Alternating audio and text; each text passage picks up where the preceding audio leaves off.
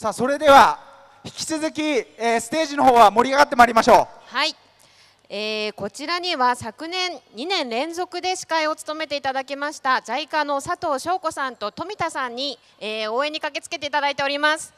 どうぞ拍手でお迎えください。だいぶ見てないね。えー、はい。富田さんと佐藤さんにおいでいただきました。この服装すごいですね。ハローキティ。すば素晴らしい素晴らしい。どうぞどうぞ。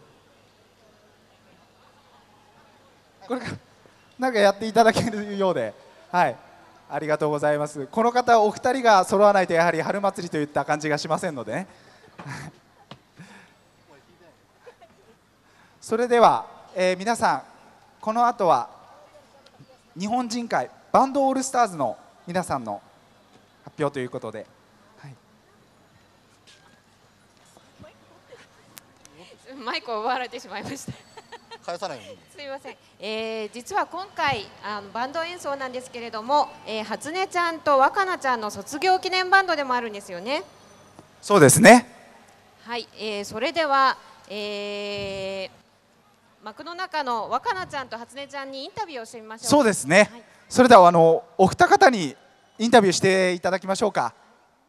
はいわかりました。はいえーとまああの食べ物を取り終わった方から順次こちらの方ご覧になってください。えーとインタビューの方したいと思います。えーとですね、えー、今年中学校日本人学校の3年生ですね2人とも、えー、戸田初音さんと、えー、相馬若菜さんです。えーと、どうしどうしたらいいんだろうかな、えー、今年が最後の春祭りですね、えーと、どうですか？これから演奏してもらえるみたいですけど。じゃあ戸田さんから初音さんから。緊張緊張してますがいい演奏ができるよう頑張ります。じゃあ。はい。えっ、ー、と人がたくさんいてとても緊張するんですがもう悔いの残らないように一生懸命演奏したいと思います。お二人は今年がありがとうございます。えー、お二人は今年が最後の春祭りどうしてどうして最後になっちゃうんですか？え？どうして最後の春祭り？春祭り来年も続きますよね。お二人にとって最後の春祭り。どうして？え？どうして？どうしてかちょっと聞いてみましょう。どうしてそんなにほっぺがキラキラしてんの？どうしてですか？どうして最後なんですか？3月で日本に本帰国するので。ええー、帰っちゃうの？お父さんは？残ります。お父さんは残るんですか？残ります。残ります、はい。若菜さんは、えっと、私も3月で本帰国するのでいつを、まあ、それで終わりだと思うので。あのー、日本に帰ってどうするんですか？え高校に入ります 高校合格おめでとうございますおめでとうございますお二人とも高校に入られるんですね、ね、今度から高校1年生、はい、何回春祭りはダッカで何回結局参加したことになりますか？初音さんは私は3回やりました。はい。若菜ちゃんは？えっと私は多分五回だと思います。おお五回も。はい。そうですか。春祭りのいいところってどんなところですか？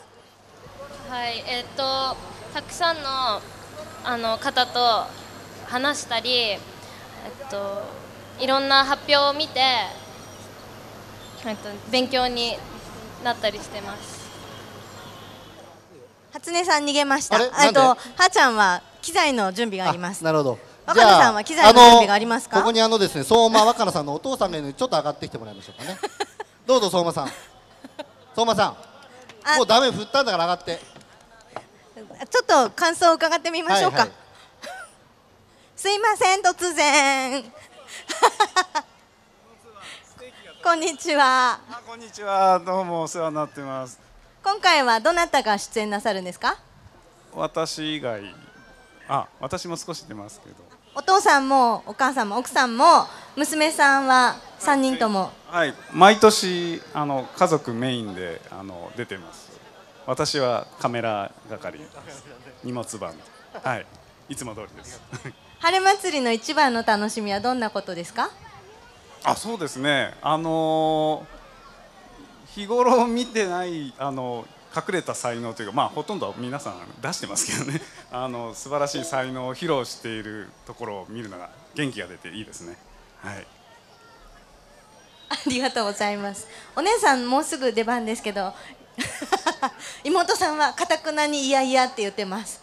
お父さんのインタビューこんなとこで終わってもいいですか？ありがとうございました。お疲れ様でしたありがとうございます。このままですとあの37回の司会の座も奪われそうですので、はい、マイクは返しません。やっぱりステージに登ったら結構楽しい感じがしてきました、でもここら辺でご勘弁ください。もう準備できちゃったの？いや、えっとまだ準備はできてないんですが、はい。あの幕を開けて一度音出しをしていただけるということなので、はいわかりました、皆さんあの前回司会者の富田さんと佐藤さんに 盛大な拍手をお願いします。ありがとうございました。どうもありがとうございました。ここであのお知らせをさせていただきます、えー皆様食器をお持ちでない方、えー入り口付近でですね、えー100高で販売しております、えー食器のない方、えー入り口付近で100高で販売しておりますのでどうぞお買い求めくお求めください。